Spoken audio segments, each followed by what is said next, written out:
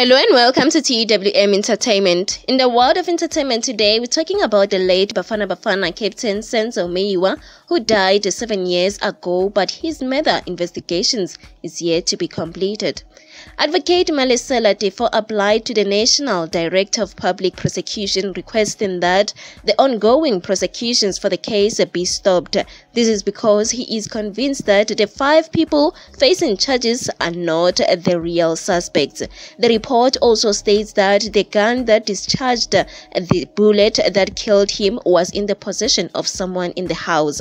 The footballer who was killed at the house of his then girlfriend singer Kelly Khumalo and it is alleged that there were seven witnesses in the house when it happened, so the weapon was brought by one of them. Source News 24.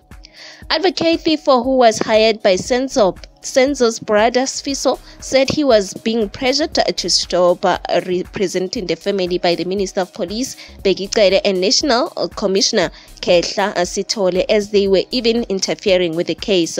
This comes after the deceased brother Sfiso said they know the person who pulled the trigger and so do the police. Therefore, they don't understand why the police refused to arrest the suspect even though they have information.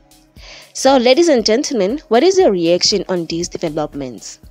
Please leave a comment on the comment section below. Don't forget to subscribe, click the notification button for more updates. I'm signing out. Peace and love.